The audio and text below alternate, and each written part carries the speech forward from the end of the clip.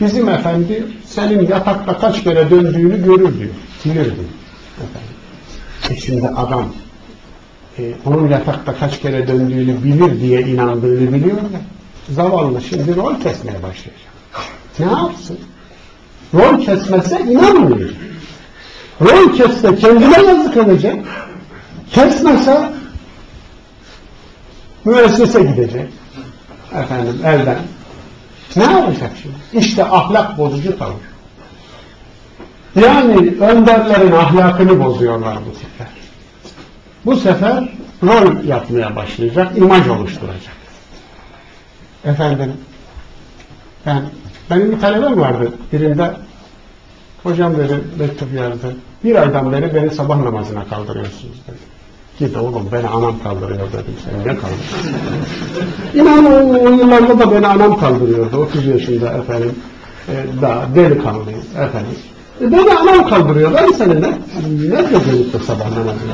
Sen bana olan sevdiğin gününü görmüşsün. Rabbim bana olan muhabbetini ödüllendirmiş. Bu kadar. Dolayısıyla e, peki buna karşı alınacak bir başka tavır daha vardı. Naçizane ama kimseye söylemez.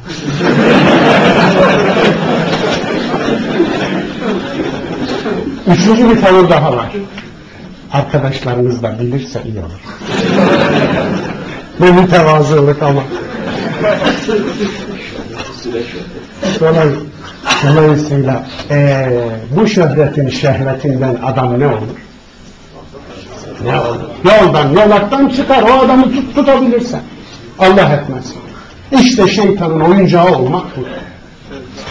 Şeytanın oyuncağı olmak budur. Ondan sonra seni seni talebelerin yönlendirmeye başlar. Müritlerin yönlendirmeye başlar.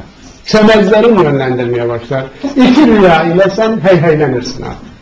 Rüya gören gelir. Görmeyen de gelir aslında. Görmüş gibi gelir bu sefer. Çünkü senin zaafını keşfettiler ya. Rüyamda şöyle oldu. Efendim. Sen de estağfurullah falan dersin daha büyük. Görüyorsunuz adamın ahlakını nasıl bozuyorlar. İnsanın ahlakını bozuyorlar. Allah dışındaki varlıklara, insanlara mükemmellik herhangi bir alanda mükemmellik atfı onun ahlakını bozmaktır. İnsan tasavvurumuz kayıyor bu sefer.